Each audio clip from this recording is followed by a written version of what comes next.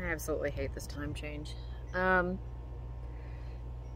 I am going to talk briefly about um, parallelism in storytelling and how that is happening with the uh, Adam Page storyline right now. Um, the storyline as it is, is is Hangman just being a very sucky friend.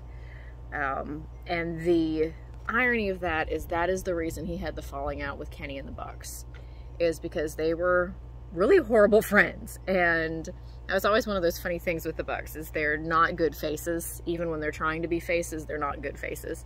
And they and Kenny were just terrible to Hangman. And they made him feel inadequate and they made him feel like he didn't fit in and he was the lesser one. And it was something that I don't know if Jay White started, but it was something back when he and Hangman were having the feud they were having that he kept talking about the fact that, you know, you're just pretending. Um, and you're you're just the the lesser one in the group and that was the main the main big main thing about that particular situation was the fact that um, the Bucks always made him feel that way, and Kenny made him feel that way, and that's why he had the issues he had. Well, now he's doing the same thing to the Dark Order, and he's doing the same thing. And hats off to Alex Reynolds, who is really quite a good actor. Um, Hangman's doing the same thing. He's blowing them off. He's picking other people to tag with him. He's basically making them feel like they are the kind of inadequate friends and that he's got bigger and better things to do, which he then realizes and knows that he shouldn't do because he does then feel bad for it when he reacts certain ways and does certain things, but he's still doing it. And that is kind of the bigger issue with that particular story storytelling that you can have people treat you badly and then you can still go and treat other people badly. It does not you being treated treated badly doesn't make you necessarily a good person. And that is the story I think that is going on because he is being horrible to the Dark Order, just like the Bucks and Kenny and the Elite were to him.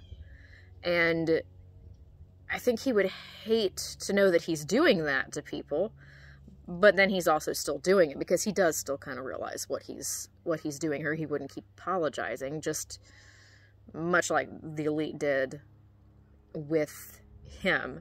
So it's this whole sort of cycle of things going on that okay, now you're champion and now you're this big top level person and now you don't have time for the friends that you had before just kind of like the situation that you had with the elite. And i would hate to see the dark order not be face and i have a hard time with them not being face anymore just because they are so funny and the and the comedy is is so much there with them. But if they're going to turn this could cause it because I don't see them making Adam turn. Um, he's just kind of being terrible, much like his friends were to him. And once again, it's the age-old story of you can know something is wrong and have it done to you and feel bad about stuff, but you can also be somebody else's